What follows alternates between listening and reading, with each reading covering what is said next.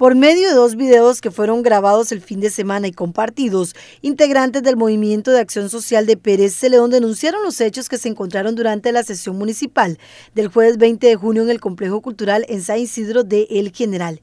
Y debido a las situaciones con la fuerza pública, piden al ministro de Seguridad Pública la no presencia del director regional Oscar Jiménez. Queremos categóricamente denunciar las acciones que ocurrieron el jueves 20 de junio en las instalaciones del complejo cultural. A lo interno de este recinto de cultura nos encontramos a la hora de ingresar vallas puestas exactamente pegadas a las butacas en donde el público iba a tomar asiento, incluyendo en este espacio adultos mayores y que también teníamos en el público una persona en silla de ruedas, persona con discapacidad. Encontramos entonces vallas pegadas a las butacas obstruyendo tanto la entrada como la salida de ellas.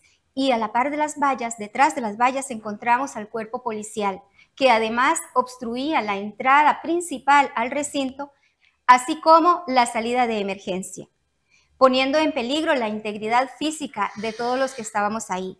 Recalco entonces que esta integridad física y esta amenaza fue bajo la complacencia del señor alcalde Emanuel Ceciliano, quien además preside la Comisión Cantonal de Emergencias, también con el beneplácito de Andrea Herrera, presidenta municipal, así como del jefe policial Oscar Jiménez, quienes se encontraban también en el recinto.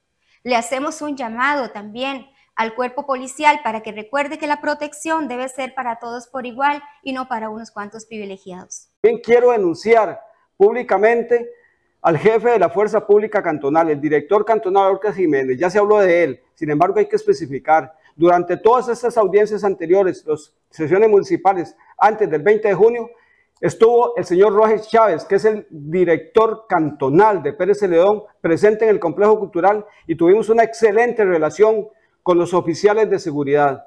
Pero don Oscar Jiménez que es una persona del esquema señor Rosibel, tomó el mando el jueves pasado y aplicó un dispositivo militar, de carácter militar. Don Oscar es un eh, policía entrenado por los carabineros chilenos, igual que el plan regulador, es una policía formado con una formación absolutamente ajena a la idiosincrasia del pueblo de Costa Rica, un pueblo que no tiene ejército, un pueblo pacífico. Vamos al complejo cultural el próximo martes, se va a anunciar hoy y le pedimos al ministro de Seguridad Pública que retire a Oscar Jiménez de este tema, que no vuelva a aparecer, porque en el momento que aparezca él, habrá conflicto. Don Oscar Jiménez es una, es una ficha de doña Rosibel Ramos y vino a cumplir su mandato al complejo cultural. No lo queremos más en este conflicto. En este momento también hacemos un llamado a la ciudadanía de Pérez Celedón y les decimos que estamos con la acción que se tomó en el complejo cultural el pasado jueves respecto a al apoyo que tenemos que darle y le vamos a dar en este momento a don José Calderón, licenciado y regidor suplente del partido Nuestro Pueblo. Esa persona fue heroico en ese momento por la atención que me demostró, su humanismo y antepuso las cosas más importantes como está preservar la seguridad y la vida humana de las personas que ahí nos atendían. Asimismo, enfatizaron en que no están en contra de los planes reguladores, sino de la propuesta que se hizo para el cantón, por lo que consideran que se puede hacer pero en conjunto con el pueblo. Nosotros no somos enemigos de los planes reguladores, somos enemigos de esta propuesta.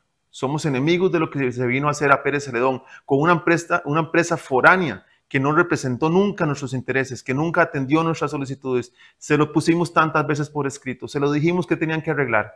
Pero a la fecha, al día de hoy, esas incorporaciones nunca han sido eh, eh, razonadas, nunca han sido tomadas en cuenta. Quien las está haciendo es el alcalde, el cual no está facultado para hacer esta acción que ha hecho durante todo este tiempo y utilizando nuestros recursos, habiéndole pagado a una empresa, sigue utilizándolos de manera inadecuada, cosa que no estamos de acuerdo. Asimismo, criticaron las palabras del alcalde Manuel Siciliano sobre la cantidad de personas quienes apoyan este movimiento. Estamos siendo llamados por el alcalde. El alcalde dice que somos muy poquitos los que estamos llegando al complejo. Bueno, este martes estamos siendo ya, eh, llamados por parte de él para demostrar que es el cantón el que no quiere la propuesta del plan regulador.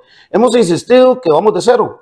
Esa es la propuesta, que tenemos los profesionales en el cantón para hacer un plan regulador y además insistimos de que la alianza que ya se mencionó del plan regulador no puede estar en contra de los principios, valores y la cultura de este cantón. Generaleñas y generaleños, el martes a las 3 de la tarde en el Complejo Cultural nos vemos. La cita la hizo el Movimiento de Acción Social para que este martes la población se presente al Complejo Cultural.